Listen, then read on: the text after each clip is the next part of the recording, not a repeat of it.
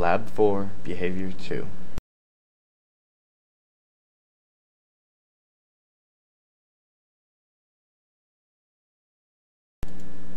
The following cricket can be identified as a female due to the presence of the ovipositor.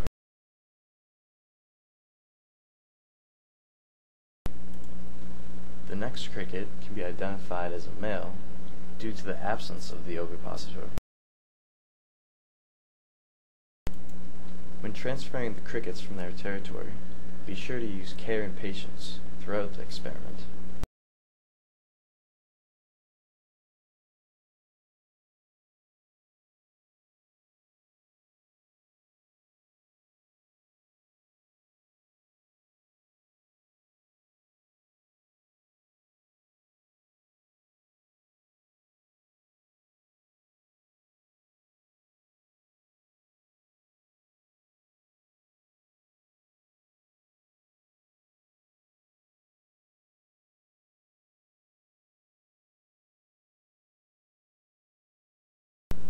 To distinguish between different crickets, carefully apply white whiteout to the dorsal carapace.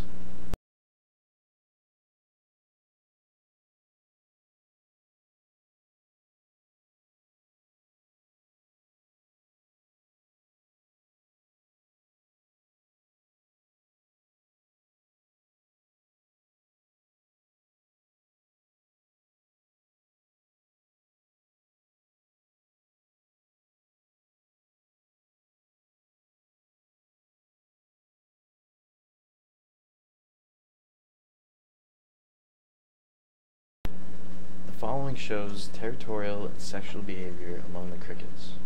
Some of these levels of aggression observed may be similar to the crickets you will work with.